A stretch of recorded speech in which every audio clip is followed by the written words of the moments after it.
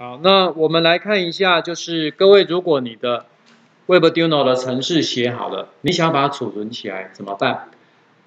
我们如果是这种免注册的，也就是那个模拟器还有体验版，因为直接进去就可以用，所以呢，你在右上角这边你会看到有一个链子，有没有？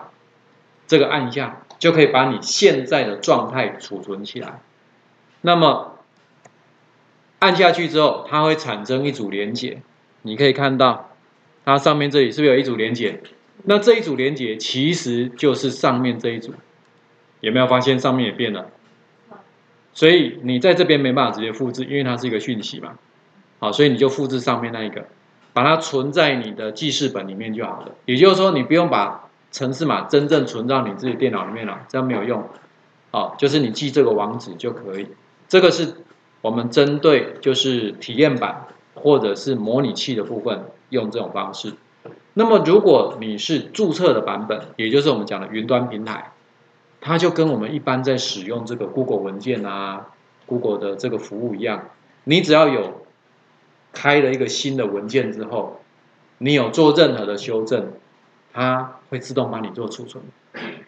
比如说你改了一个字，它就自动存。做几个动作，然后就自动存档，所以网址都会是相同。那我们用这个模拟器跟体验版的，今天如果你做到这边 OK 了，当然这个网址就保留下来。可是如果你又去修改它呢？比如说我今天哎这个我又来这边做了城市的修改，有没有？这样我是不是又动过了？这个时候你看，只要你修改了城市，有没有发现上面的网址就不见了？因为对他来讲，他。刚刚那个网址只是把你刚才的状态储存起来，可是你现在是不是又是一个新的？等于说你有修正过之后，要麻烦你再产生一个链子，再按一次，最终版本你要再按一次就对了。这是它的一个处理方式，好，就是稍微留意一下，不要想说你已经有存了，然后就继续做继续做，结果后面没按，哇，中间那一段就都没有了。好，这个要稍微。小心一点。